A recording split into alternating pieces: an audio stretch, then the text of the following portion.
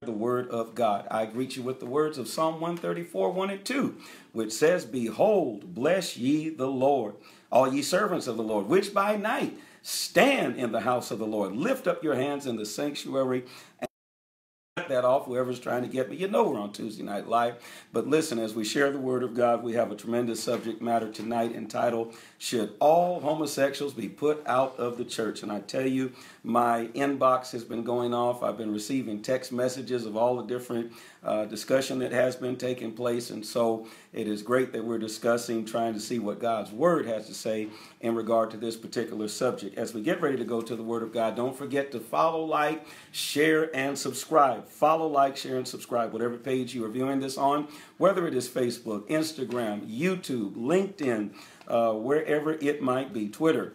I want you, Periscope, we want you to be sure to follow, like, share, and subscribe so that you can be in tune with all of what takes place as we share the Word of God week by week, every Tuesday night live at 6 o'clock p.m. As long as the creek don't rise and the Lord delays his coming, we are here live and in living color. Start sharing this right now because I do have some very explosive things that I'm going to be sharing in regard to this subject, but I believe that it is going to be a blessing to the body of Christ. Don't forget, real quickly, that Life Center has Bible study every Tuesday night at 7 o'clock p.m.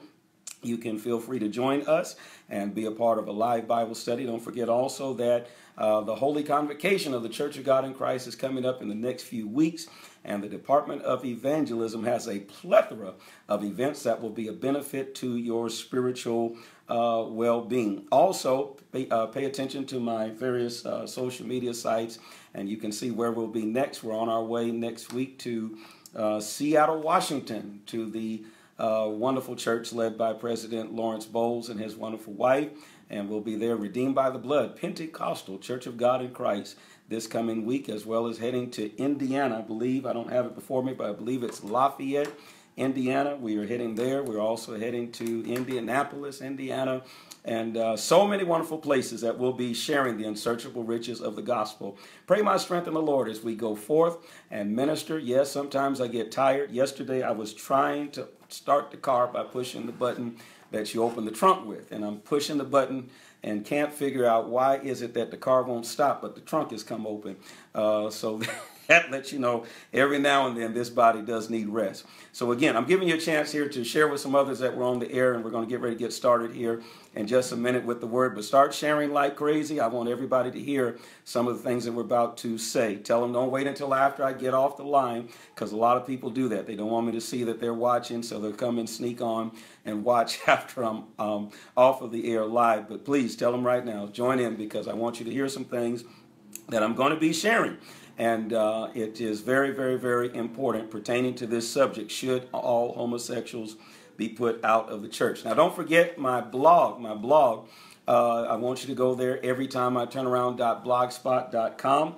And on the blog, um, the latest article is dealing with this subject matter last week that was such um, an explosion uh, among the body of Christ in regard to forgiveness, forgiveness versus justice. And so you can find uh, that particular subject matter taking place on the blog. And somebody can put it down in the comment section. Every time I turn around, dot blogspot.com. Come on, everybody, share some more so we can get those numbers up and get ready to present. Thank you. Last week was well over 10,000 people viewed uh, the teaching last week. Should all ministers be required to be married? That was the subject last week. And if you missed that, go to my YouTube channel. Be sure to subscribe, and you will see the um, message there. Should all ministers be required to be married? Will that cut back on some of these scandals that we're seeing in the body of Christ if people uh, get married? Find out by studying along with that video. Listen, let's get ready to get started. Again, keep those numbers up. Thank you so much, Facebook. You're doing great. And uh, so is Instagram. Thank you so much. Let's get ready to pray. Father, I thank you for this opportunity.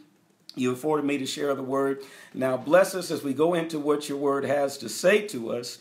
And we thank you for all the discussion that has already taken place in the comment section and the discussion that will take place. Help us to be a light in the midst of darkness. God, help us as believers to evangelize this world before the soon return of Jesus Christ. And we'll give you the honor, praise, and glory in Jesus' name. Thank God.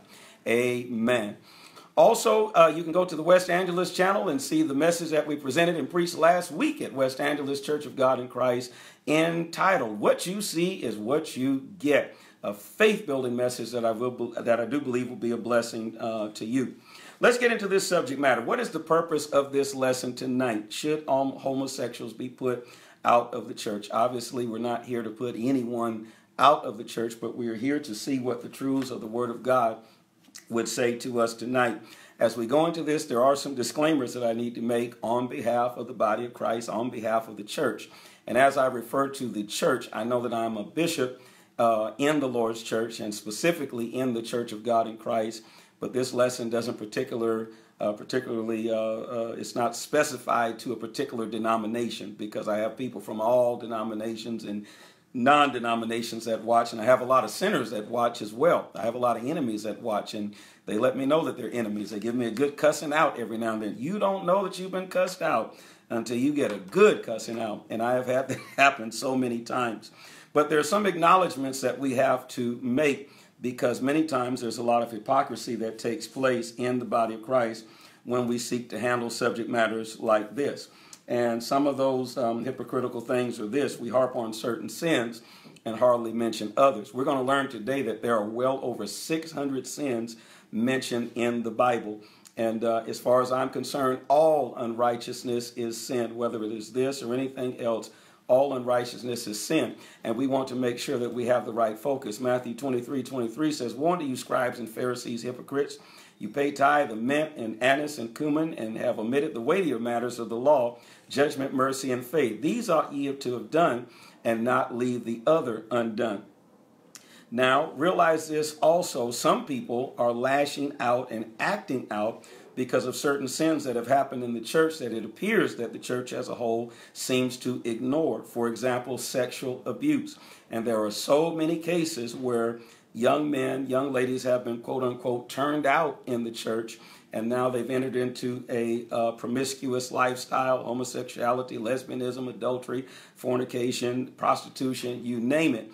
And uh, they wonder now why is it that the church hasn't made mention of anything like this? And why doesn't the church deal with these particular sins the sexual abuse of children. There are whole websites, there are whole uh, uh, social media sites that are totally set aside for individuals that have suffered at the hands of those that are in the church.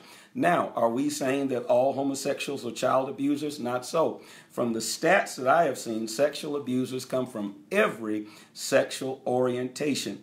And whoever does it, it is both a crime and it is a sin from whatever the source may be. Again, there's much hypocrisy that takes place in the body of Christ. Also, we do have respect of persons. Specifically, James chapter 2, verse 8 through 9 talks about that. We give certain individuals a pass while we crucify other individuals. Certain people can get away with quote unquote murder, and other people, if they sneeze, they're going to hell. We should not have that kind of respect of persons in the church, and that's why it is when messages are preached on particular subjects, people look and they say, wait a minute, you harp on one thing, but you leave the others undone. James chapter 2, verses 8 through 9 says this If ye fulfill the royal law according to the scripture, thou shalt love thy neighbor as thyself, ye do well. It says, But if you have respect of persons, ye commit sin and are convinced of the law as transgressors. We have that even when it comes to preachers.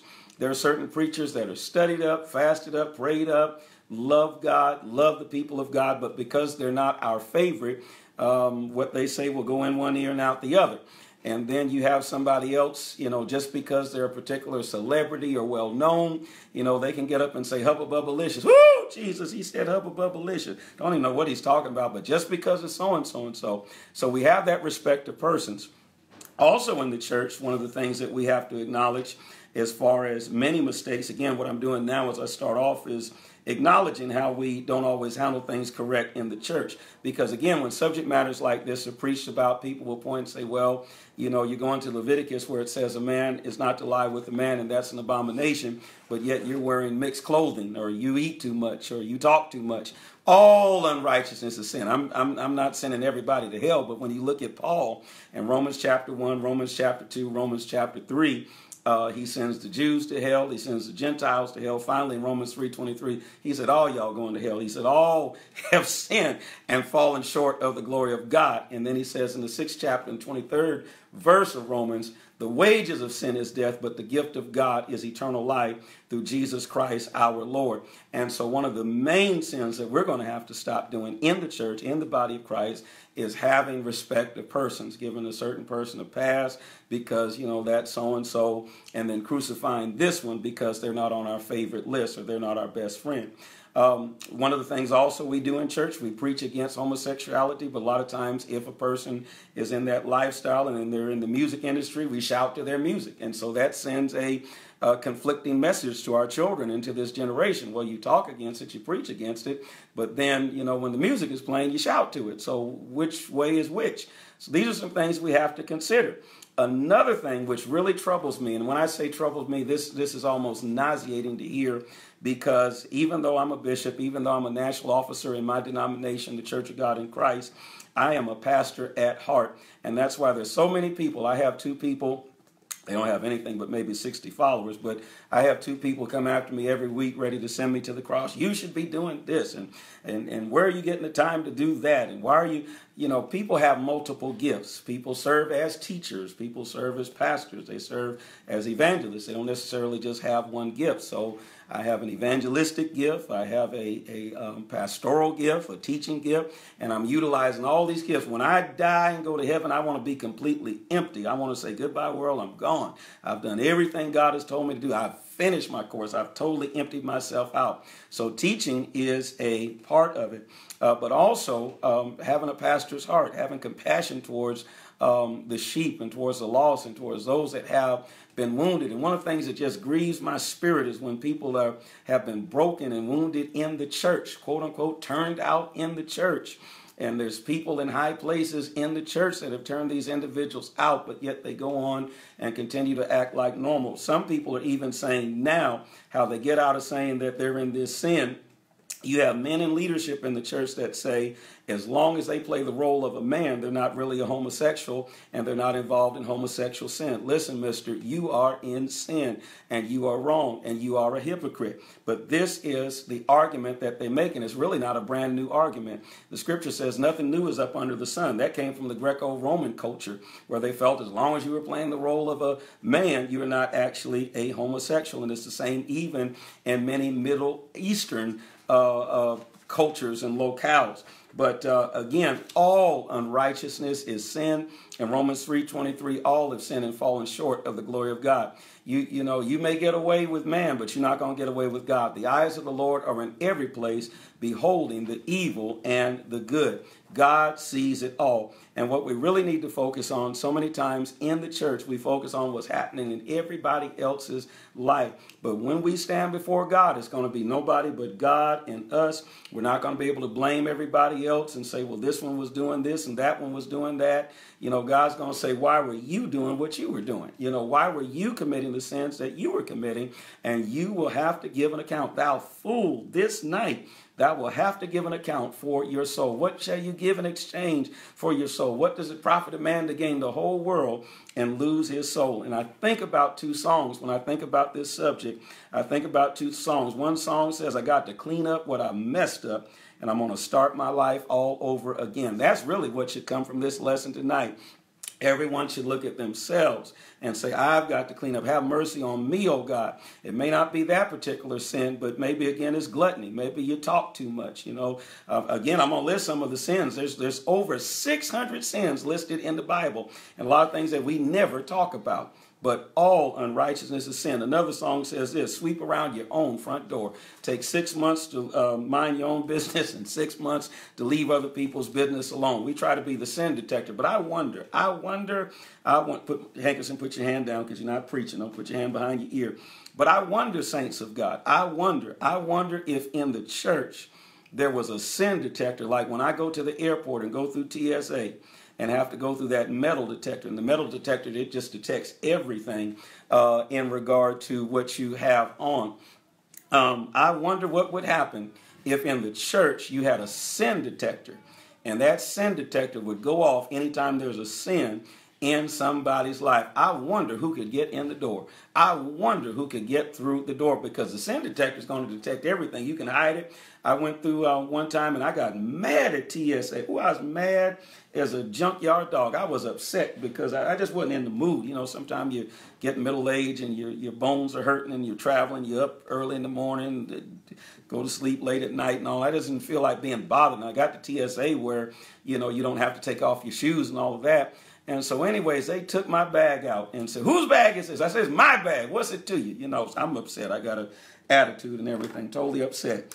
And they go through the bag, and I'm sitting there with arms folded, with an attitude like, you know, you're not going to find anything in my bag.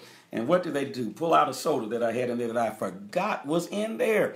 I didn't realize realize that the soda was in there. I, I, didn't, I forgot all about it. And they pull out this big bottle and said, this can't go. And so imagine, what, what, what do you have in your bag? Put that in the comment section. What do you have in your bag? We all need to check our bags and make sure our bags are packed and make sure we're ready to see Jesus when he comes. That is my focus. Now, again, I'm going to preach this gospel. I'm going to tell you right from wrong. I'm going to tell you that it's holiness or hell. I'm not going to hold back. I'm not going to make no excuse for you or me. But just like I tell Life Center, on that great day when we stand before God, don't come trying to tap on my shoulder. Pastor, Pastor, help me get it. It's every man for himself on that day. And so now is the time to get it ready. So again, I see some of you putting in that in the comment, and that's great. What is in your bag?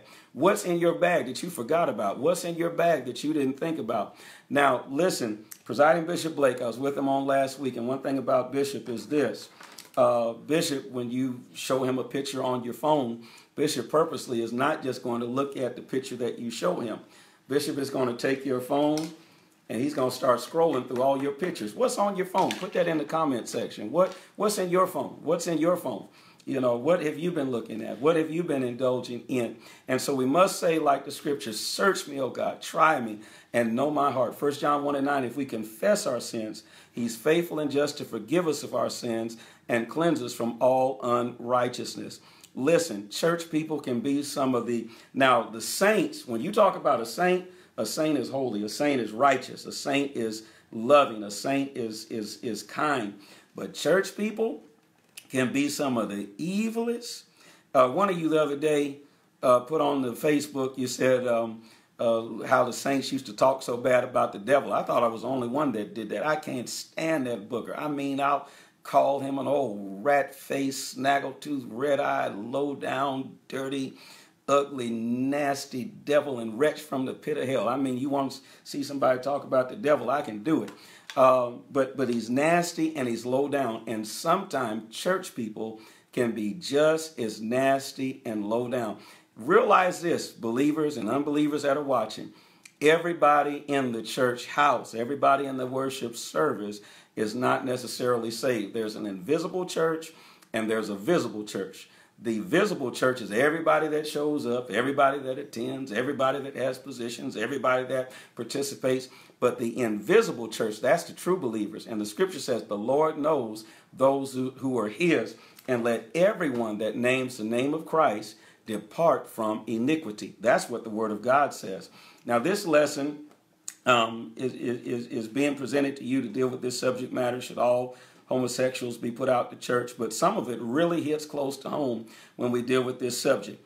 In 2014, about five, six years ago, when Missouri Midwest, the jurisdiction that I'm privileged and honored to be the jurisdictional bishop of, was being vetted, we had a couple people, a couple pastors actually, that were on our roll, pastors in our group, our proposed jurisdiction, you could call it that, that had been delivered from a previous lifestyle of homosexuality. I knew their um, testimony. They had talked to me, Hankerson, I came out of this.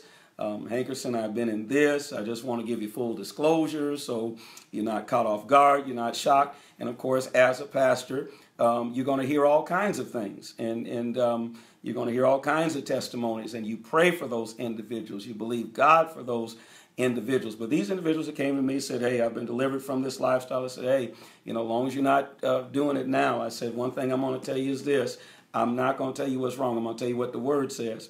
Uh, one one pastor sat down with me one time and told me, he said, "Man, you." We were sitting around the table and you just looking at us talking about as righteousness or hell, as holiness or hell, no adultery and nothing like that. And you looking right at me. You know, I said, well, if the shoe fits, wear it. But I'm just going to put the word out there. If I got to live right, you got to live right. If I got to live holy, you got to live holy. If I've got to be clean, you've got to be clean. Those of you that are texting me, can you wait at least till I'm over with? Y'all know that I'm on the the show, you kind of irritate me doing that, and it's definitely when you know that I'm on the um, webcast. But um, out of jealousy, because a new jurisdiction had not been started in um, St. Louis since 1963, there were those that scandalized the entire group and said Hankerson has nothing but homosexuals, starter churches, and wildfire. That's what was stated. Well, Hankerson, what you need to do, you need to put their names out there and give their name. Listen, giving names doesn't do anything. You know why? Because when it comes to persecution, when it comes to being talked about, when it comes to being ridiculed, as a minister, you can't take it personal. If it was Sambo starting, you know, a Timbuktu jurisdiction, it would be the exact same scenario. So quit taking everything personal because when you take it personal, you feel like, okay, this is against me, so I got to lash out and I've got to attack back. And that's how come there's so much strife and, and things going on in the body of Christ now. So realize this if you weren't you, if you had a different name, if it was a different scenario, if it was a different city or whatever, uh, whoever it is that's anointed, you are going to be talked about. You're going to be ridiculed. Jesus was talked about.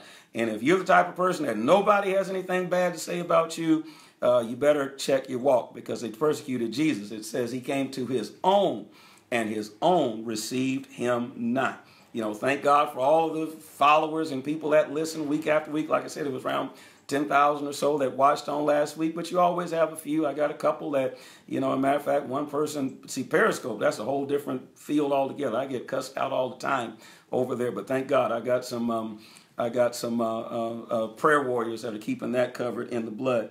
But we were talked about as a group. They said the whole group is full of this and said it's the biggest mess that there's ever been.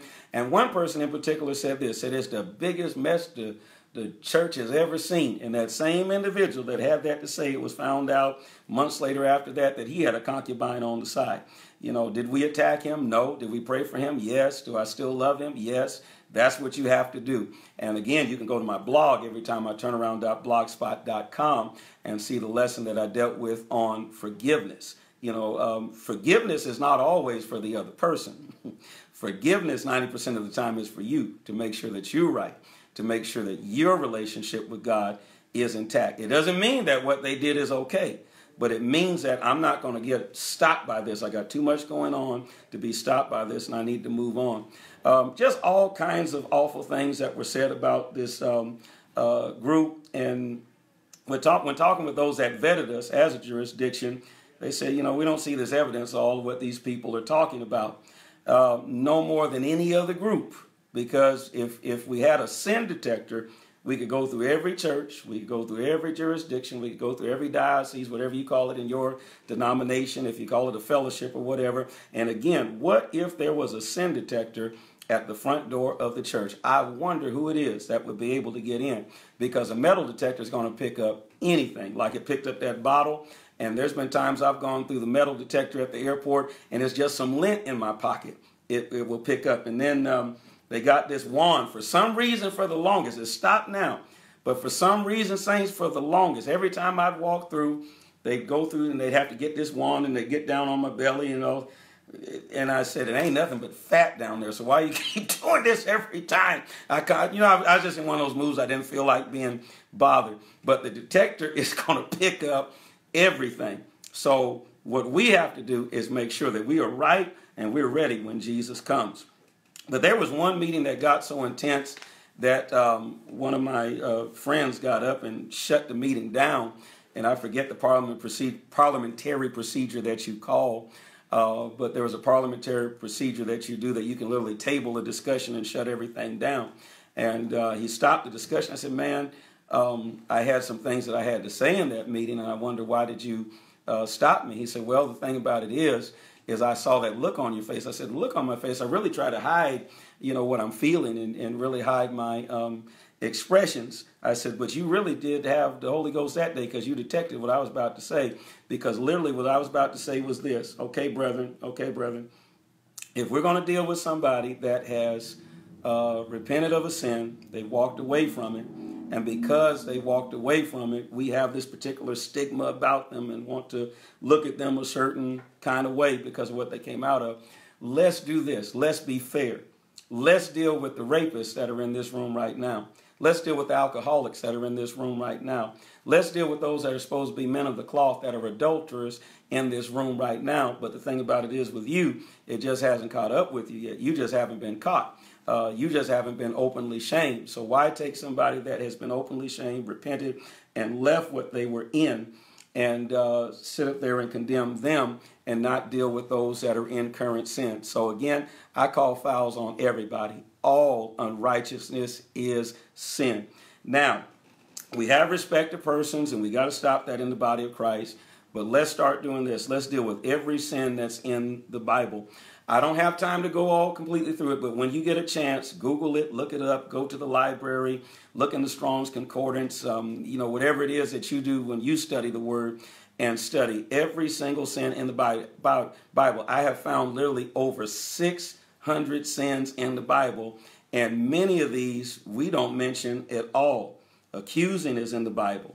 Um, adultery is in the Bible. That's a sin. Being afraid of people is a sin. Being afraid to confess Jesus before people is a sin. Unjustified anger is a sin. To be angry with your brother is a sin. Arguing, according to Proverbs 17 14, that's a sin. Arguing, Hankerson, what you mean? See there, that's, you got that spirit right now. You ready to argue now? Arguing, I'll give it to you. Proverbs 17 14, Proverbs 18 and 6, Titus 3 and 9, 2 Timothy 2, verses 23 and 12. I tell you, I don't, I don't, I'm not going to come before you without scripture. We're going to come before you with the word of God. Arrogance is a sin.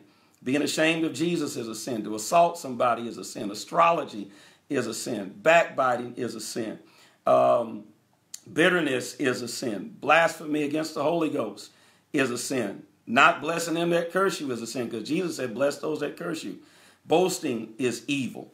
Uh, what else do we have? Um, being against a child of God is a sin. Deceiving a child of God is a sin um, hindering or beating God's servant. Hopefully nobody does that. Luke 2:45, that's a sin. Watch this. Not clothing God's children that have need, according to Matthew 25, 43, that's a sin. Not feeding God's hungry children that are hungry, Matthew 25, 42, that's a sin. How come we don't talk about that? Not feeding the hungry, not visiting those that are in prison, not taking in a homeless child of God, that is a sin. Matthew 25, verse 43, and verse 45 and also 1 Timothy chapter 5 verse 10. Not visiting God's children that are sick is a sin. Matthew 25 43. Um, refusing to hear God's servants, 1 John 4 and 6, that's a sin. And it goes on and on and on and on. There are literally being a busybody, Proverbs 20, verse 3, 1 Timothy 5, verse 13. Putting the cares of this world before God, Mark 4 19, that's a sin when you're more into your career, when you're more into what you have to do, when you're more into the baseball game, you got to miss church because you head into the baseball game. I understand every now and then, but every week something is wrong with that. Being carnal or worldly is a sin. Threatening somebody, according to Acts 9, verse 1, verse 4 and 5 according to John chapter 9, verse 22, verse 28, verse 34, and verse 54. See what I'm saying? All unrighteous, not having love in your heart. 1 Corinthians 13 and 2, that is a sin. Not going to church. Hebrews 10 25, that is a sin. There are over 600 sins that are mentioned in the Bible. However, this does not negate the fact what the Bible has to say about homosexuality as well as lesbianism. Now, somebody sent me a message said, "Well, Hankerson, lesbianism is homosexuality." I understand that, but it seems like in the church we focus so much on males being involved in the homosexual lifestyle, and you hear very little that's being said about the ladies that are involved in that lifestyle as well. It's easy to be able to tell a man when they show up and they're dressed very flamboyant and coming in with, you know, all the stuff that they wear. i have never been a fashion person, so I couldn't tell you. I just get up and throw something on. Um, but I try to be clean and I try to make sure that my stuff is ironed and all of that. But as far as um, colors and putting things together, color coordinating and all of that, um, you can just forget it. That that's you know I just stay basic: black, brown, blue, and gray. That's about it. Now, when you see me in a something more so than that, you just have to look. But that's basically it, just dark um, colors. But it's easy to focus when we see individuals coming around like that. I do understand that, but realize this lesbianism is just as much of a sin, and a lot of times it's more hidden. It is just as prevalent, but a lot of times it's more hidden. So let's not just focus on one area, let's focus on the whole thing. You're going to shoot the gun, you got to shoot it. You're going to shoot the gun, you got to shoot the whole thing. Leviticus 18:22 is still right. Thou shalt not lie with mankind as with womankind. It is an abomination. So I said all of the things I said before to say this. Just because you got the hypocrisy, just because you got folks doing all kind of things, just because you have people with a double standard, it does not negate what the Word of God has to say. And that's not a hate message. This is simply the Word of God. Uh, because again, if preaching against sin is hate, I told you there's well over 600 sins mentioned in the Bible, and really that would be hatred towards everybody. Romans 1 26 through 27. For this cause God gave them up to vile affections, for even their women did not change the natural use into that which is against nature. And likewise also the men, leaving the natural use of the woman, burned in their lust one toward another, men with men, working what is unseemly, and receiving in themselves that recompense of their error, which was meet. I hear what you're saying, Hankerson, it's a sin, but let's deal with some things. If a preacher always focuses on this one sin, Hankerson, does that preacher have a hidden issue actually with homosexuality? Because there are some preachers that every time they get up, you know, my motto is every time I turn around, God is blessing me. And there's some preachers every time they get up, that's all they're talking about. So the question is this if you have a preacher, if you have a minister, if you have a pastor that all the time, the only thing that they talk about. And if they deal with any other subject, it comes back to dealing with homosexuality. Is that person an undercover homosexual themselves? Well, first of all, the only person I sleep with is Lady Hankerson, so I can't tell you what half of these folks are doing. I don't sleep with nobody else except her, and that's all I need, all right? But the only way we can determine that would be to go into everybody's heart and mind and see what's happening. However, that's impossible because God only gives us a word of wisdom or word of knowledge. Now, I have seen many instances where that is the case, where a person constantly harps on something, and the reason why is because they have an issue with it themselves. I've even had an individual that um, I knew it came out of that lifestyle. And we were sitting in a worship service one time, and the preacher got up and was preaching against homosexuality. And that was the first one up screaming, Yeah, you're right, you're right, you're right. It's I'm like, Wait just a minute, wait just a minute. Didn't you just. Uh, you know, confide in me that you came out of that and now you're trying to shoot at everybody else. So sometimes, what do they say? The dog that hollers the loudest, that's the one that got hit. That's not in the scriptures, but, you know, in many circumstances, that may be the case. I've seen that in some instances. However, that's only my observation, and I can't speak to every single case of every single preacher in the nation. And that's why we as preachers, we have to be so careful. We just act not only that we are we don't always act like we are the man of God. Sometimes we act like we're the God of man, and we are not. He's the only one that knows everything and all of what's going on in everybody else's life. Now I can assume, but you don't always want to assume. That's the problem that happens in church is because we're always assuming, we're always, uh, and we assume the worst for other people. 1 Corinthians 13 says that love is not looking for the bad in everybody, it's looking for the good in everybody. Another question is this why does it seem like Pentecostalism seem to have um, homosexuality and lesbianism more than any other faith?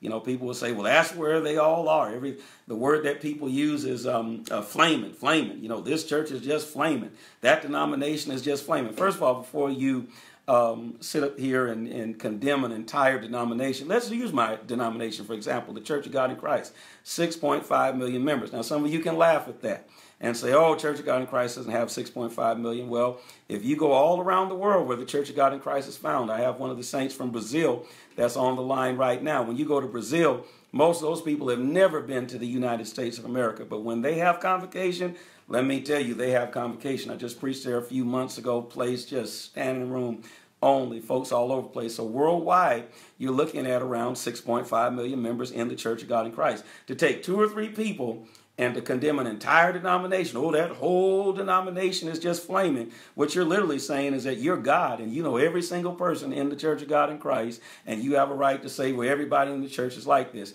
You don't. You're not God, so you don't have the right to say that. Say it like it is. That there's a few people that you ran into, and this is what you have found with these few individuals. But you can't and you don't have a right to take a whole denomination and say that. Again, that's a blanket statement if you say homosexuality is found in Pentecostalism uh, more than any other faith. You would have to talk to every individual in every faith community and see what their sexual orientation is. That's almost impossible to determine. However, perhaps the reason it may seem so high in the Pentecostal faith is because Pentecostals are uh, evangelistic. And being evangelistic, yeah, definitely praying. Uh, yeah, send me an inbox message, uh, uh, Brother Corbin. Send me an inbox message. Um, that's what makes it seem more visible because we're on radio, we're on television, we're on the internet. And so any issues that Pentecostalism may have is going to seem bigger than any other uh, religious organization, bigger than any other religious faith. But again, you cannot take one entire denomination and just say that it's like this or one particular faith. There are 385 million Pentecostal slash charismatic slash uh, tongue talking people in the world. 385 million. That's as many people as in the United States of America. So you can't take an entire group and say it's like that. Another question people ask is Is being effeminate the same as being a homosexual? Not necessarily. At least in the black church, you mostly see women and children. As a result, many people grow up emulating the spirituality of the women of God, like the church mothers. And that's why you so oftentimes hear people saying, oh, those old mothers would do this and those old mothers would do that. Uh, you never hear them really talk about the old fathers in the church, but there were fathers. But many people emulate the spirituality of the ladies because many times in church, that's mostly what you see. Also, many children in the black community have been raised without fathers. In many cases, it's a single mother or grandmother who has to take on both roles of the parent. That must be taken into consideration. However, a man is not to act like a woman, and vice versa. A woman is not to act like a man. The Bible teaches against that in 1 Corinthians 6 and 9. And we can argue all day about, you know, women wearing pants and men wearing dresses and men wearing, you know, well, that's cultural and all of that. But we know pretty much when a man is acting like a woman and a woman is acting like a man. That's straining that and that and swallowing a camel. That's really silly to get off into something like that. 1 Corinthians 6 and 9 says, Know ye not that the unrighteous shall not inherit the kingdom of God? Be not deceived, neither fornicators, nor idolaters, nor adulterers, nor effeminate, nor abusers of themselves with mankind. So instead of standing back and criticizing and talking really what needs to happen in the church, we need more men's ministry. I'm not talking about a men's day. I'm not talking about a men's program. I'm talking about uh, mentoring programs and things like that. Really, more so need to take place in the church besides just having services and dealing with men things uh, so that young boys can grow up in the church looking up to real men uh, that do real men things. Well, Hankerson, what is men things? Listen, again, that's straining at a gnat and swallowing a camel, okay? So we know that there is a difference between male and female. God made that difference in Genesis chapter 1. Well, Hankerson, the scripture saying, God, there is no male or female. That's dealing with salvation in the book of Galatians because that's what Paul is dealing with. Deal with every scripture in context. Now, to answer the question, should all homosexuals be put out of the church? Shame on you as well. Whoever's saying that to me, shame on you uh, right back at you. Anyone should be welcome to attend a church. Anyone should be welcome to attend a church. And shame on you because you just sit up and listen to two, three sentences and you don't uh, listen to the whole lesson. So shame on you. You can go on about your business. Anyone should be welcome to attend a church, but no one should be put out from a worship service unless they are causing a disturbance. Even then, you want to see why they're causing the disturbance. So when it comes to a worship service, again, you know, if you have some kind of radar and you're trying to, you know, all right, let me determine who's in this and who's in that, uh, you're probably not going to have anybody at your uh, worship service at all because the scripture says everyone can praise the Lord. Psalm 150 and verse 6. Let everything that hath breath praise the Lord. You see, saints, I have intercessors praying for me. I got folks around the nation covering me in the blood, so I'm I'm armed and ready. So you want to come with it tonight? Let let's let's go you know, let's go. And so I thank God for those that have me um, covered in prayer. And that's why I don't allow myself to get distracted uh, because there's people that are covering these lessons, covering the airwaves and everything in prayer. And I just want to say I appreciate those prayer warriors because it's through your prayers that I'm able to share and spread the gospel across the country and around the world. So thank you so much. And that's how we're able to uh, stay focused. So if you want to get on here and cuss me out, call me a hate monger and all those kind of things, you know, here's what you can do. You can just simply get off. You don't have to watch because it's not like I'm sitting here watching your program. You're watching me.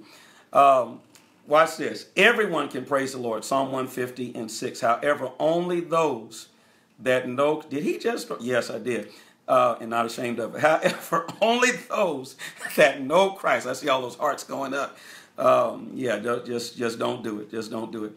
However, only those that know Christ can truly worship. Everybody that has breath, everything that has breath, I mean, the dogs, the, the, the, the, birds, everything that have breath can praise the Lord. Everyone is welcome to praise the Lord. However, only those that know Christ can truly worship because John 4 24 says God is a spirit, and they that worship him must worship him in spirit and in truth. And the more you worship, when you truly worship, I'm not talking about the entertainment we see in church. That's a whole nother lesson I'm going to teach on one time because half of what we call preaching and half of what we call worship is really entertainment. Um, you know, some people can't even pray you know, come on, y'all, get with me. Get you're supposed to be focused on praying. You just pray and talk to the Lord, and you know we'll get to where we need to get. But quit focusing and worrying on us. So a lot of stuff we do is really entertainment. But when you truly, truly, truly, truly worship God, when you truly love God and get close to Him, He will condition your heart and deal with you. And I'm going to tell you this: when I go into the presence of God you know, God didn't always come and, you know, and telling me, here's what's going on with everybody else. The focus is on He and I, and He deals with me in my time with Him. And that really should be what happens in our prayer time, not focusing on, you know, we go trying to be deep and just, you know, looking at everybody in the church service. You know, God sees you. Well, God sees you too. God sees what's going on with you with your self righteous spirit. So here's what we have to understand everybody can praise the Lord. Everybody should be welcome to attend a worship experience, a worship service. However, attending church and leading church are two totally different things. It was not uncommon for unbelievers to come among the saints in worship services in the New Testament church, 1 Corinthians 14 23 through 24.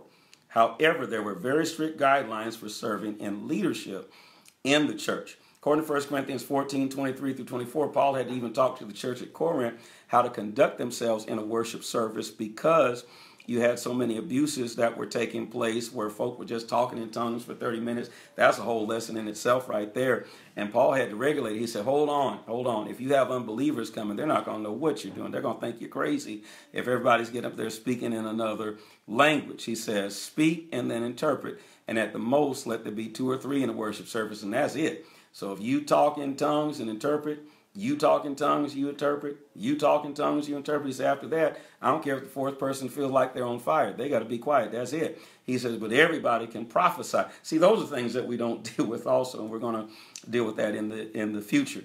So in the early church, they were sensitive to the fact that unbelievers would come among them, and so unbelievers were welcome to come and welcome to be in their midst. But Paul says everybody really should prophesy because there should be some conviction in a worship service where the secrets of a person's heart are revealed. I, I, I hear you, uh, Sierra Sumter, just pray for me. Um, uh, but, but nevertheless, you know, that's what should happen. There should be a change. There should be a difference. See, I don't go to church just looking. A lot of people are really looking for um, what did what did George Bush call it? Shock and awe. They're looking for the clouds and all this, and that's wonderful. You know, I want to see the sick healed and the clouds come in. Cloud came in when I was baptized in the Holy Ghost. But really, when I come to the house of God, something should be done and said and goes forth that I learn more, I grow more, I'm stronger. Um, uh, I'm exhorted that I can be able to stand in these last and evil days you know, it's a healing when I come into the presence of God and I'm around the saints. I'm not always in the best of moods, not always feeling the best, but as you come in the midst of the saints and the saints are glorifying God, you should feel edified. That's what I feel when I come to Life Center. You know, the church that I pastor, I, I, and and the saints know say he just enjoys being around the saints. I do because there's a difference that takes place, and that's really what should happen. What good is the cloud? What good is it to see all of the glory? What good is it to see all these things and then leave out the exact same way? You know, there's one big um, preacher that was just recently involved in a scandal, really wasn't recently involved in a scandal, but recently it came uh, known to people that he was involved in all kind of things. I'm talking about, you know, child sexual abuse and rape and all these kind of things. But yet when you came to his services, I mean, there were words of knowledge and wisdom and prophecy and miracles and healings and all of that stuff taking place. But what good is all of that if there's no change when I come to the house of God? There's no change when I come to the presence of God. The early church was very forgiving, but they were very strict. Let me review some things that I've shared with you before. Fellow Christians are to be restored, according to Galatians chapter 6, verse 1. Ye that are spiritual, restore such a one, and a spirit of meekness, considering your own self, lest you also be tempted. But those who refuse to do right were to be shunned, according to the New Testament, 1 Corinthians 5 and 11. I don't care what you say, I'm not going to do right. I don't care what you say, I'm not going to live right. Paul said in 1 Corinthians 5 and 11, But now I'm writing to you that you must not associate with anyone who claims to be a brother or sister but is sexually immoral or greedy, an idolater or slanderer, a drunkard, a swindler, don't even eat with such people. That brings us to another question that was asked earlier Is there an underground homosexual church in various denominations that actually runs denominations?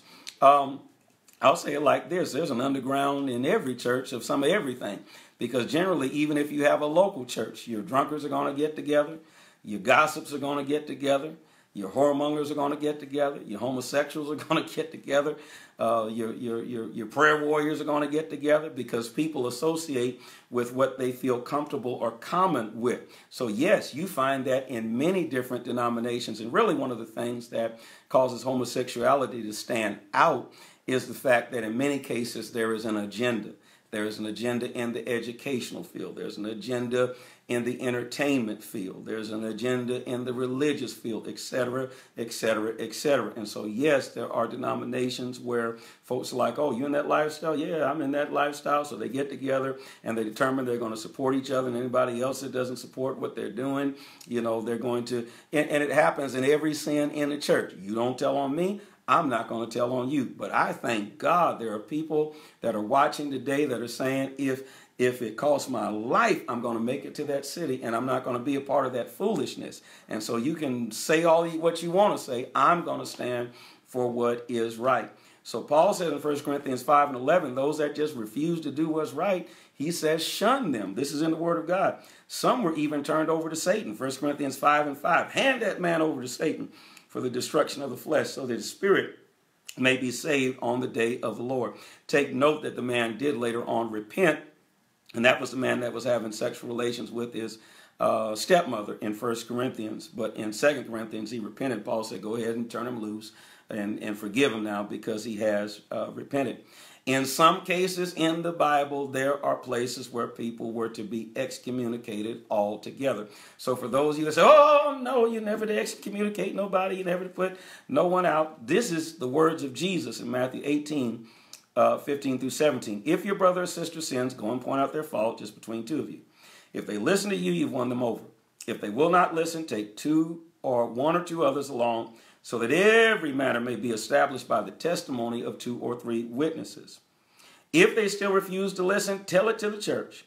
And if they refuse to listen, even the church should treat them as you would a pagan or a tax collector. So there is excommunication, but you just better make sure that your business is together before you talk about excommunicating somebody else. Evidently, prayers were even ceased for certain individuals. In 1 John 5 16 through 17, it says, If you see any brother or sister commit a sin that does not lead to death, you should pray, and God will give them life. I refer to those whose sin does not lead to death. There is a sin that leads to death, and I'm not saying that you should pray about that. All wrongdoing is sin, and there is a sin that does not lead to death. The church considered some people in New Testament times to be completely rejected. Let me say this Christianity now does not resemble the Christianity of the New Testament church. You have to understand we've gone through Constantine and the Roman Empire and all these different things all together. You're like, yeah, treat him as a tax collector. That's what it said. Um, but it's totally different. It's totally different than what it was during the time of Christ. Christianity was more considered a small sect within Judaism. Judaism is strict within itself. And so this sect was even stricter than the parent body, which was Judaism. And so, with the ministry of Paul, uh, with Gentiles coming into the church, with becoming the official religion of the Roman Empire, uh, it's, it's a totally different setting. Back then, you know, they went into all the world, but they were very strict. Even Jesus, he said to his disciples, going to all the world, but he told them, he said, I'm only sent to the lost sheep of the house of Israel. But you go into all the world and proclaim the gospel to every creature. And so scripture says uh, during that particular time, they were so strict that some people would be completely rejected. 2 Timothy 3 and 8. Just as Jannes and Jambres opposed Moses, so also these teachers oppose the truth. They are men depraved mind of depraved minds who, as far as the faith is concerned, they are rejected. The early church was very strict on its leaders. Leaders were to be blameless, 1 Timothy 3 and 2. Leaders were to be pure, 2 Timothy chapter 2, verse 22. Sinning, unrepentant leaders were to be openly rebuked. 1 Timothy 5 19 through 20. It says, first of all, don't entertain an accusation against an elder unless it is brought to you by two or three witnesses. But those elders who are sinning, you are to reprove before everyone so that others may take warning. Some leaders were to be totally rejected and shunned. Titus chapter 3, verse 10. Warn a divisive person once and then warn them a second time. After that, have nothing to do with them. According to the word, God does not look at leadership in the kingdom as a right, it is a privilege. I'm not going to get it right now because I turn all the cameras over. Um, but if I got my driver's license, when I was um, taking driver's ed, way back in ancient times when I was 15 years old, I think it was 15 or so. Anyways, it was in, it was in high school. I was taking uh, driver's ed. Um, they taught us very emphatically during that time that driving is a privilege and not a right. And it's a privilege that you have, but it can also be revoked. We have made it like ministry is a right. Ministry is not a right. You don't have a right to be in ministry. It is a privilege to be in ministry. And it is a privilege that is granted by God, and it is also a privilege that can be taken by God. What do I mean? In some cases, you, you, you find one thing, in some cases, you find another. But in the scriptures I'm going to give you, God was very strict when it came to his leaders. Moses was not allowed to continue to be a leader after disrespecting God. God initially told him, take the people out of Egypt into the promised land. People messed up, went around 40 years, all of that. In the book of Numbers, you, you, you read about that story. And um, 40 years they're in the wilderness when it's supposed to take only a few days' journey probably a little more than a few days because that's going actually through a wilderness. That's going through a desert. But basically, it wasn't supposed to take 40 years. But Moses messed up so bad, God said, listen, my initial plan was for you to carry the people in. I'm scratching that. Scratch that totally up. And uh, scratch it up and say, you're not going to do it. Numbers 20 and 12. But the Lord said to Moses and Aaron, Moses and Aaron, because you did not trust in me to, enough to honor me as holy in the sight of the Israelites, you will not bring this uh, community in the land that I gave them reminds me of a story that was told about Bishop Mason uh, back in the old days in the Church of God in Christ. You really didn't have the executive branch, which is the presiding bishop and the general board, and the legislative branch, which is the General Assembly, and the judicial branch, which is the Judiciary Board, and the Pastors and the Elders Council, which you had. Bishop Mason was serving as an apostle, and being an apostle, he was the legislative, executive, and judicial.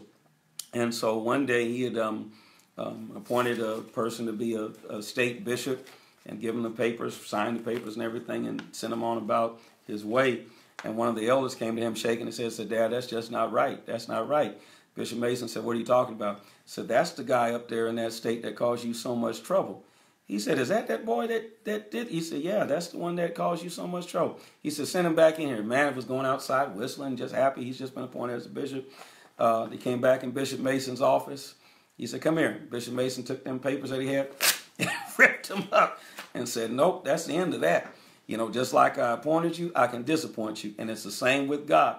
God appoints and God can also disappoint. And, and we make it almost like there's no discipline with this. There is discipline and there is a certain way that we are to conduct ourselves as God's minister. Well, I'm being led by the Spirit. Being led by the Spirit doesn't mean a lot of crazy things and foolishness and, and off brand spirit. It doesn't mean that. Saul was rejected as a leader for uh, rebelling against God. 1 Samuel 15 28. David was allowed to continue to lead after he repented of his sin. And 2 Samuel chapter 12, verse 12 through 13. But the consequence was this you may have been forgiven, but your whole house was cursed. So you wonder, what would you have rather been? You know, because people compare Saul and David. Well, Saul repented and, um, you know, or, or, felt sorry at least. Well, he didn't, I won't say he repented, but he cried out. And, um, and, and Samuel went away from him, and God said, Don't even worry about him anymore. I've rejected him. Uh, David cried out. David was forgiven, and somebody may say, well, it just doesn't seem fair. Um, Saul um, sinned and rejected God. What people don't realize is that he didn't stop being king uh, once he ended up being disciplined by God. He remained as the king. But what happened, that kingship was taken away from that tribe of Benjamin. Nevertheless, David, he repented and God forgave him. But do you want what David got. Some people think that Saul got the worst end of the stick, but I don't know about it. When you look at, at, at David in 2 Samuel 12, 10 through 14, his household was cursed. God said, you know, the sword is never going to depart from your house. This little child that you had uh, with this woman Bathsheba, that child's going to die. All your wives are going to be raped in front of everybody. Um, and what ended up happening is, is his son rapes his daughter. His son turns against him. I mean, it was a lot of crazy stuff. So, like I say, you may you, you, you may think you got away, but you can't get away with God. Peter was allowed to continue to serve after repenting. Luke 22, 32. The whole point I'm making is this. Anybody can come to church and worship, but when it comes to being leader, a leader, it is a strict, strict guideline that God has for those in leadership. Judas was rejected from leadership even after acknowledging his sin. Matthew 27 and 4 and Acts 1 and 20. He said, I've sinned. I've betrayed innocent blood. What is that to us? They replied. That's your responsibility. So he completely lost his place. So, again, to answer the question, um, should all homosexuals be put out of the church? Anybody can come and worship. Anybody can come and magnify God. Let everything that have breath praise the Lord.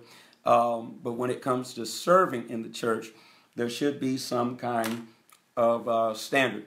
All right, God bless my uh, Instagram audience. You'll be going off in just a minute. And don't forget that you can always come over and tune in to Facebook and Periscope. Now, listen, what I've done tonight, I have purposely focused on presenting the lesson because I knew that there would be those trying to uh, distract me and lead me in all kind of different directions and going on wild goose chases and all of that. And I didn't want to allow myself to uh, be distracted in that manner. So that's one of the reasons that normally I look up and say things and respond to you all. But um, I didn't do that on this. Um, uh, um, all right, now I'm looking up here. Melissa Green says your timeline is really quiet tonight. yeah, but you, all, well, you what you need to do. Come on over to the. Uh, you're not. You're on the um, fan page. You're not on the um, personal page. If you get on that personal page, they're pretty noisy over there. You all make some noise. Hit some noise so Sister Melissa Green can know you all there. Hit them heart buttons if you receive something from this teaching tonight. What I'm going to do is I'm going to allow uh, for a few questions tonight and hear from you. Uh, again, this is a discussion. All right. And Tasia Curtis said, What if you discern that they're lying about their sexuality as a leader? Would you remove them then? Oh, that's an excellent question. Um, in cases like that, again, you really have to make sure you've heard from God. And really, the scripture says, and I read that earlier, uh, for those that are asking, one minute and 44 seconds remaining on Instagram, you, you can come over to Facebook and Periscope. The question was asked of me, what if you discern that a person basically is a homosexual, but they say no, that they're not? And uh, how do you handle that? Um, you really can't deal with a person based on what you feel you've discerned or what you think because – um, you can discern and actually be off. Because one of the things is this a lot of the people that seem like they're um, so much um, homosexuals and all that and this is this comes from me counseling people the last 25 years in ministry. I'm a young man but um, this year makes 25 years of pastoral ministry. Next year will make 40 years of salvation. Um, and, and being baptized in the Holy Ghost and being in ministry, coming out of a pastor's home So I've heard it all. At least I think I have. Every time I think I've heard it all, then something else comes up. Um, but in counseling with people, a lot of times the people that you think are a certain way are actually not.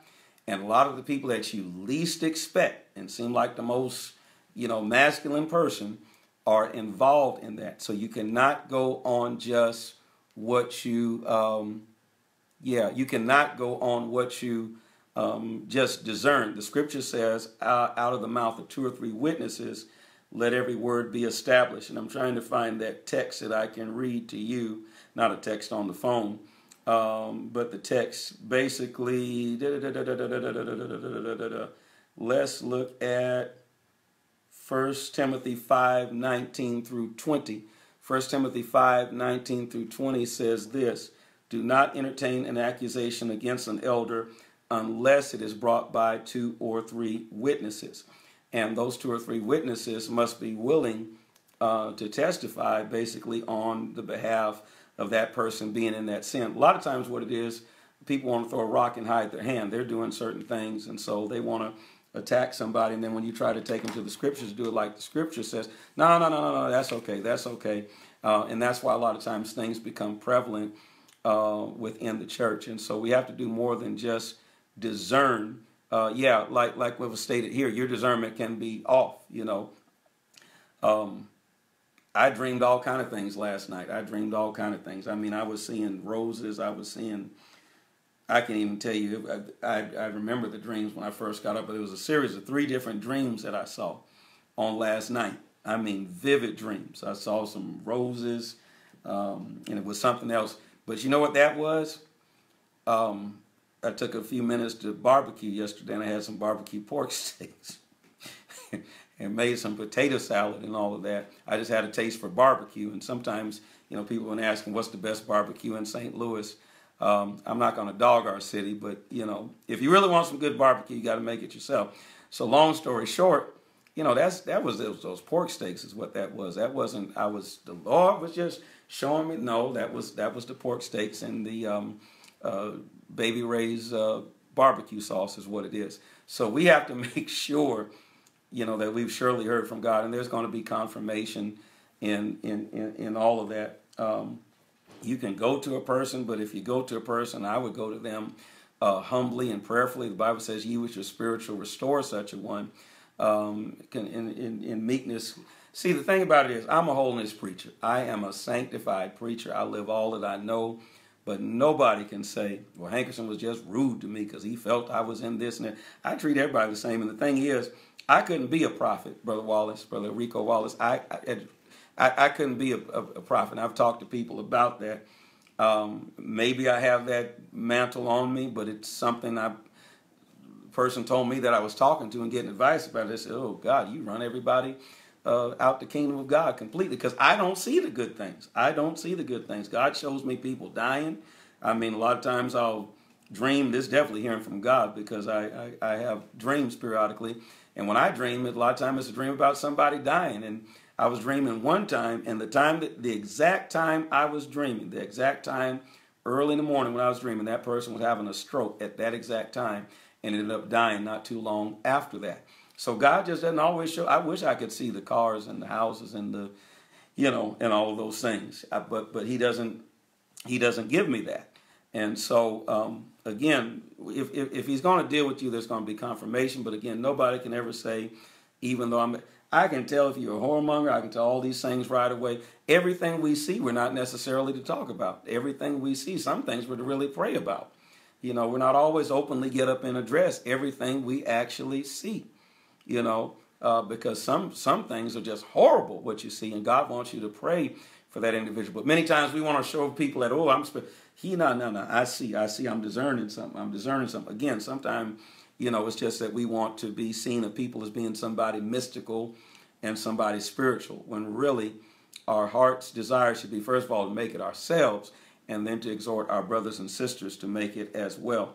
So there should be witnesses. You know, what does a witness do? A witness testifies on behalf of something. So a witness isn't quiet, a witness isn't silent. A witness should be able to come forth and say, I know that person is no good and dirty and rotten and low down because I saw them at the club the other night. I saw them at the club and they were sitting at the bar and they ordered a, a um, um, what do you all call those things? You all know what those things are. Margarita. They ordered a margarita. And then after they got done with the margarita, they ordered a, um, uh, what's the other thing? That pina colada. They ordered a pina colada. And, uh, you know, so you should be willing to testify as a witness. Now, if you testify as a witness to that, my next question is going to be, what were you doing at the club? Seeing them order the pina colada and the margarita. Why were you there? So that's that's what we have to realize. Good question. All right. And uh, somebody's saying some things we see are familiar spirits. That's true. All right. And Jason Douglas says the Holy Spirit will never lead you incorrectly. The question is, what is it that the Holy why was it that the Holy Spirit told you that? Correct. That's good. That's an excellent point. Why did he tell you that? First of all, if God shows me something, it's, it's for me to pray for that individual. And we do, let's be honest, saints, we do more talking than praying. Lord, you let the Lord show. The, the Lord showed me that so and so and so is a stone cold alcoholic. Now, here's what we're not going to do. Let's just let's talk about church people. Let's talk about ourselves. There's nobody but us. Let's talk about ourselves. What we're going to do, if God shows us that Sambo is a stone cold alcoholic, we're not going to get down on our knees and pray and cry out and break that and God deliver me. We're going to pick up the phone and call somebody. You know, the Lord showed me this about so and so and so. Now we got five or six people that we've talked to, and it's just like that old shampoo commercial. I told two friends, and they told two friends, and so on and so on and so on. Now Sambo walks in church on Sunday, hadn't had a drink, ain't even thinking about drinking, but somebody thought they saw something, thought they heard from God, and now the whole church is looking at Sambo you know, hmm, what's he doing getting up there talking and reading the scripture? He's a stone cold alcoholic. So the first thing we ought to do, like Brother Jason Douglas says, is go before God in prayer. And God, now you showed me this. Now what do you want me to do with it? Am I to go to that person? Am I, you know, you showed this to me. What's what's supposed to happen? You know, nine times out of ten is really for us to pray for each other. I've been in prayer before and been so quote unquote caught up into the spirit that God has given me the names of individuals I don't even know. He says, I want you to pray for so and so and so in such and such a place. She's dealing with this right now. I don't even know the person. I don't even know the person, but God will give me their names. Now, does that mean I get up in church services and all of that? And, and I'm Prophet Hankerson and I'm calling out names. For, it's not for that. It's, it's in my private devotion that God shows that and says, I want you to intercede for these individuals. That's why He asked me to do it. So it's something that is very private. Yeah, stone cold. yeah, I'm old school, so that's that's that's some of the uh, language. I'll take two more questions at this time. It's so good uh, uh, being here with you all, and you the quicken and dad. Thank you, Deacon Colts. I appreciate that so much. If there's not any other questions um, or comments, I thank you all for tuning in. And will you please help me by doing this? You've been great tonight.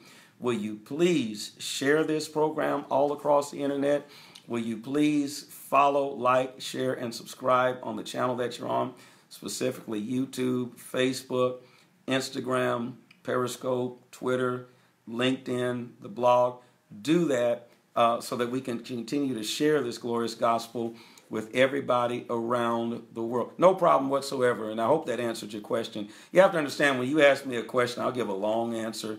You're like, Lord, I only asked this short question. He just talked for 20 minutes. It's almost like when somebody gives a message in tongues and they go off for 20 minutes. He ba ma ma ma ma sha. He ma ma ma ma sha. Sha ma ma ma ma sha. Sha ma ma ma ma ma. And then they say, the Lord says it's going to be all right. Now I'm mad because you've taken up 20 minutes doing all that talking. And it was just, that's all you got to say is, the Lord says, all right. You better go and find something else from him, from that, taking up all that time. Of course, I wouldn't allow that much time taken up in the service anyways.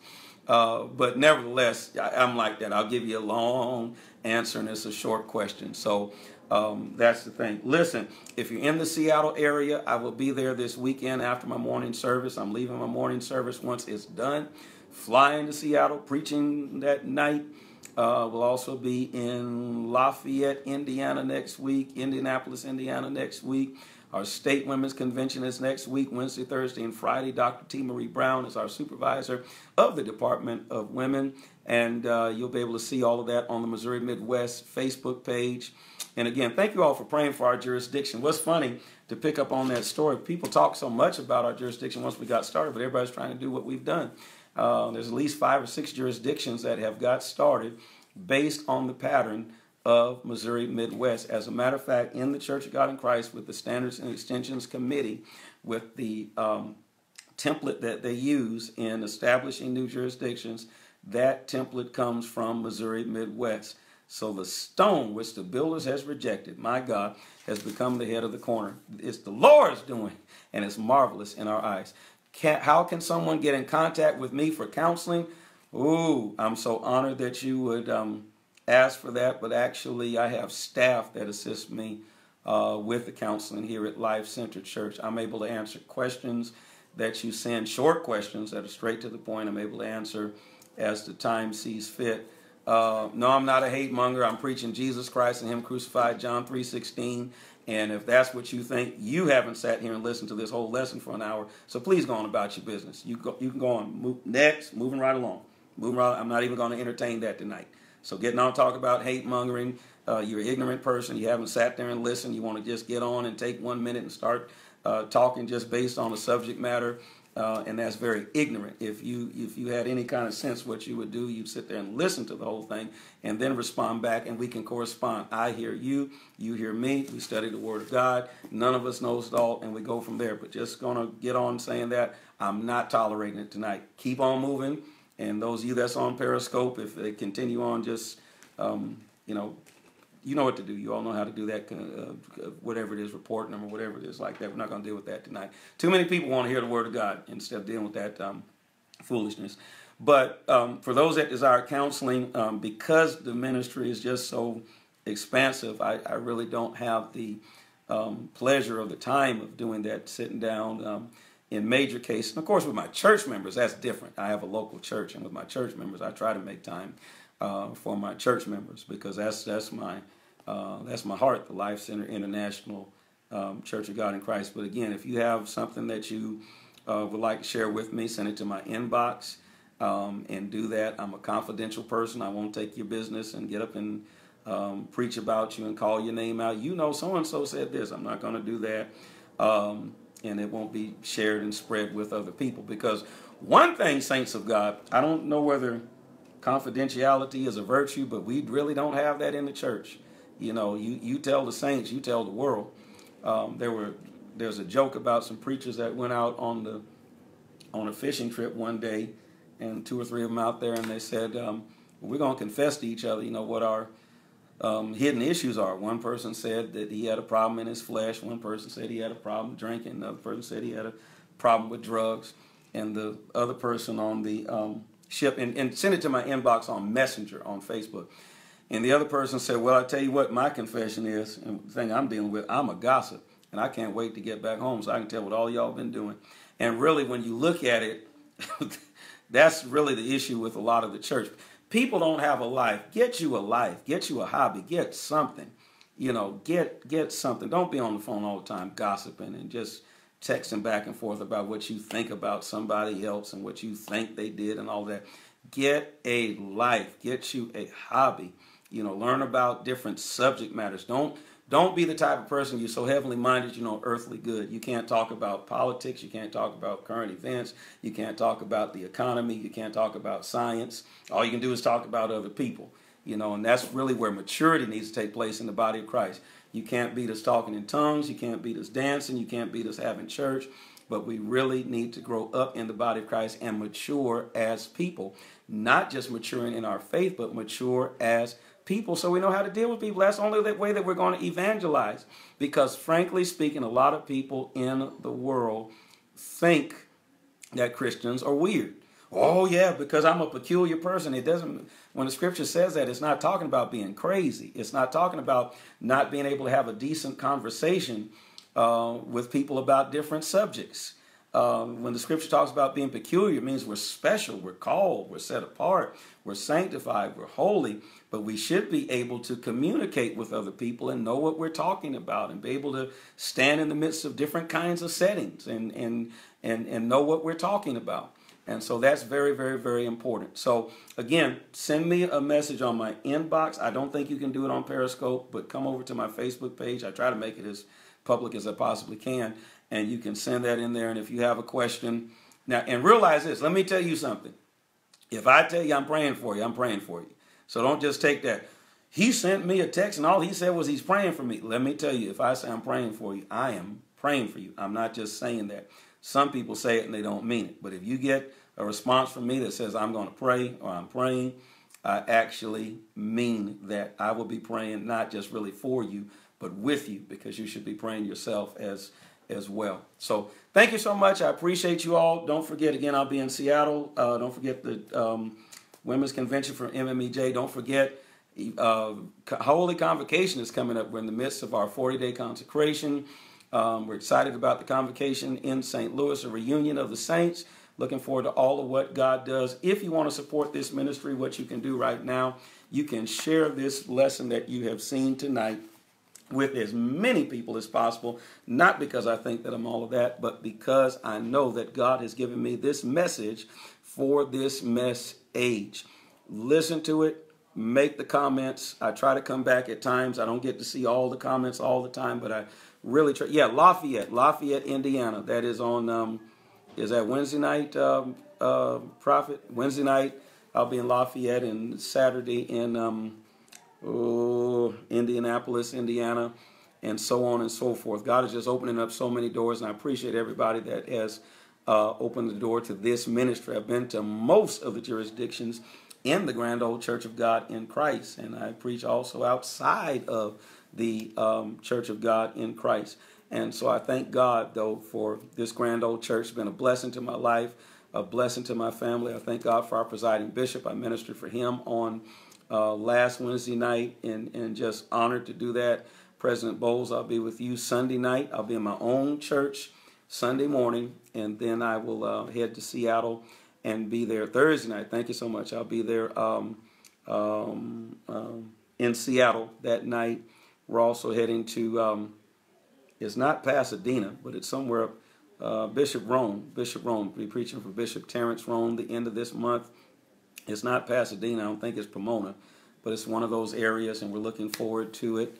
Yeah, we've been down in Florida. Amen. All right. Thank you all so much. Good being with you. Got to get ready. I need to um, drink some of my most holy water so I can get into Bible study and teach the Word of God tonight. Um, Hankerson, aren't you tired? Well, listen, I got full of the Holy Ghost, vitamin C, uh, Alka Seltzer, all of the above. I didn't take any um, five hour energy drink. So you all you all spread. I didn't take it today. I took it the other day, but I haven't been taking as much five hour energy drink. And tonight I don't have a um, cola soda. I have a uh, diet white soda. So it's getting a little bit better. I'm trying to drink more water than uh, what I have uh, drunk in the past. It's just Saints water doesn't have the taste. It doesn't have any taste to it, and so it's not always easy. So sometimes I just have to grit and just drink it. And I know you all say, well, the they got water with flavors. No, that's just not as um, good. All right. Bless you, Periscope. Thank you so much. Appreciate you. Be blessed. Thank you so much on the fan page. Look forward to um, uh, seeing some of the comments as soon as I get a chance. Pray for me. This week I'm heading to Kansas City and Memphis. I got to head to Kansas City, then head straight to Memphis. So uh, pray for me on that, that the Lord would continue to give me strength. I may take drink some coffee on that one uh, as well. All right, but thank you all so much. Be bountifully blessed. Listen to the whole lesson and in its entirety and share it with everyone that you possibly can. Bless you until next time.